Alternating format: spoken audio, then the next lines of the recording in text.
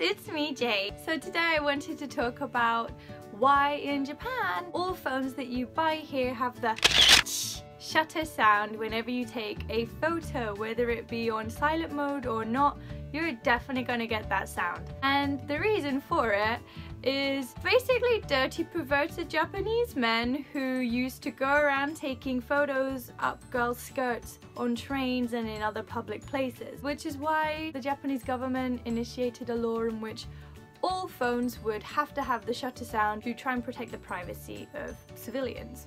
There are lots of strange things that go on on Japanese trains, upskirt photos being one, and of course good old groping, chikan, which I have already made a video on, you can watch it here if you want. But yeah, there are lots of interesting pervy things that go on in this country and it's fun to talk about them. So it's a short one for today but has this ever happened to you? Have you ever had an upskirt photo taken of you or been groped on a train? If so please let me know in the comments below. Please subscribe, please give it a like and I will see you again next time.